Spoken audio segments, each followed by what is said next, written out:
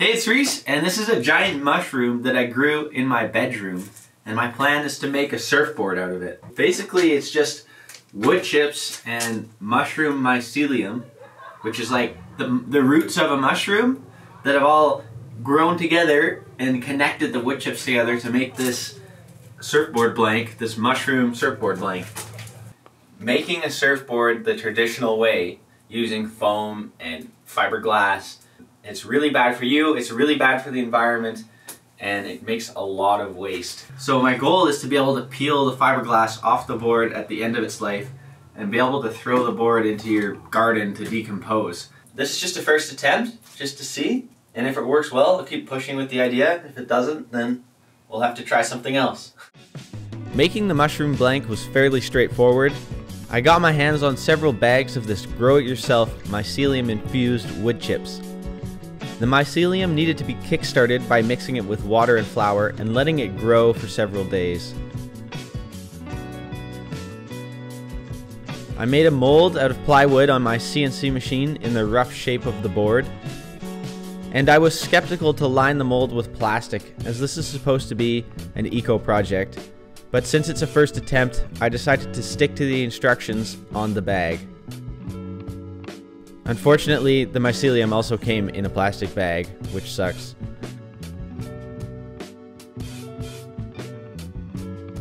I mixed more flour into the mycelium as growing fuel before packing it into the mold.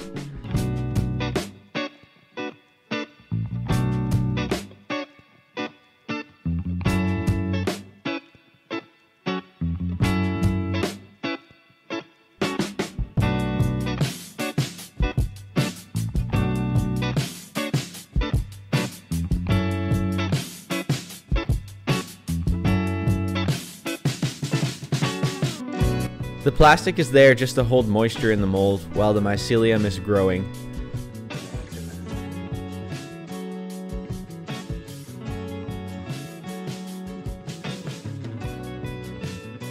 At this stage, I covered the mold with towels to block sunlight and slid it into a dark temperature controlled corner of my room to start growing.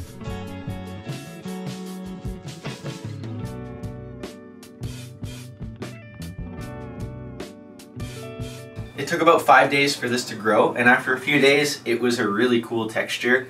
It was like spongy, weird white texture, and the water droplets were kind of on top of it. It looked really cool. After that, I had to dry out the blank to kill the mycelium, so I chucked it into my container with a dehumidifier.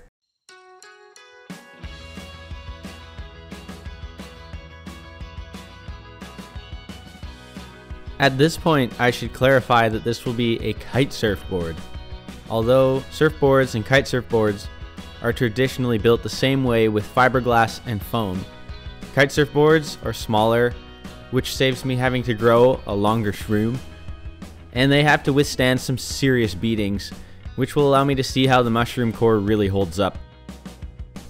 This is the shape I will be making. It's called the Creep. It's my go-to kite surfing shape and I'll be able to easily feel the performance differences between this mushroom core and a traditional foam core.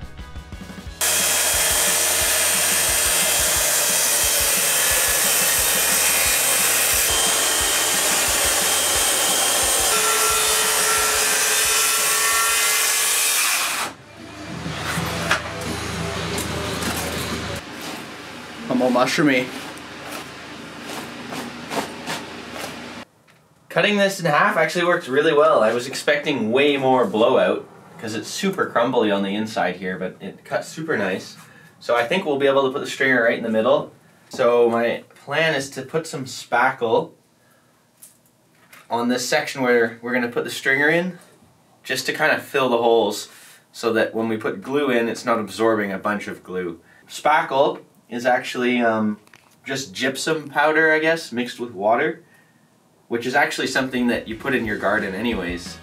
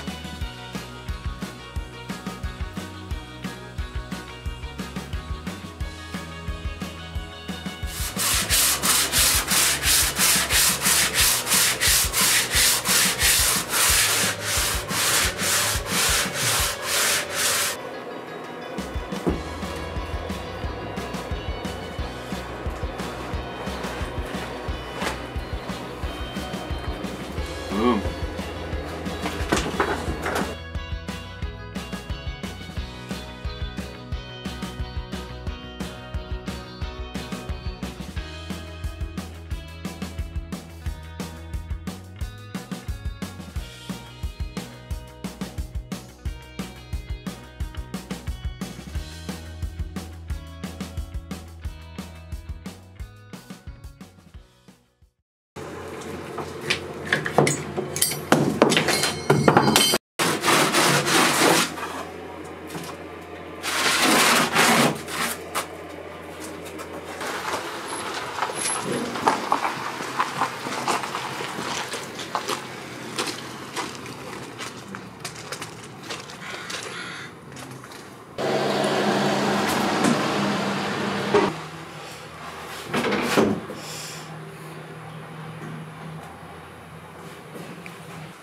Everything's ready to go, and it's time to start shaping this. I'm super excited to see how well it's gonna cut.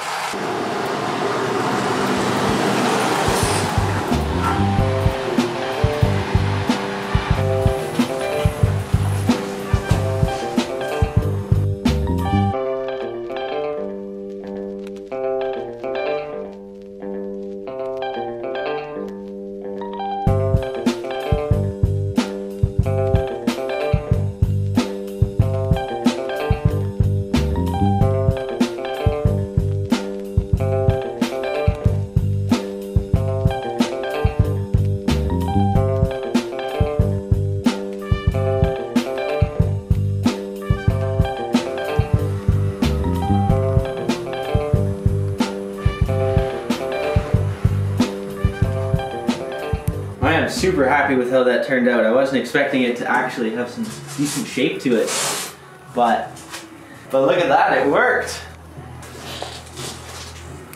It's so crumbly that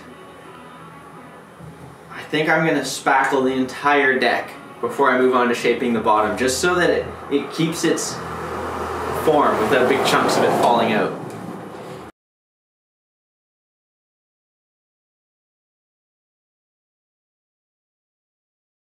This is pretty much going to be the same weight as what the finished blank will be at this point.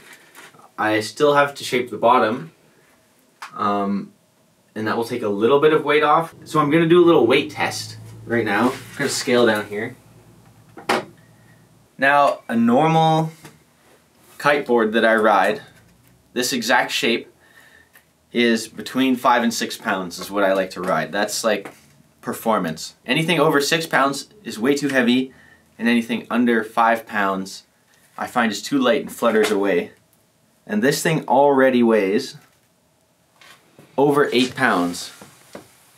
Just for reference on the weight, this is a PU blank. It's actually a longboard blank, so it's about three times the volume of the mushroom board, and it weighs less. It's about six pounds.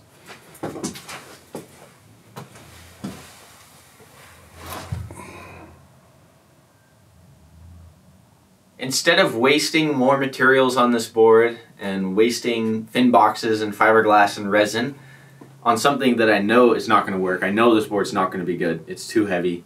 It was it was a good attempt, but I'm going to quit while I'm ahead, and I'm going to go chuck this thing in the forest somewhere and let it decompose.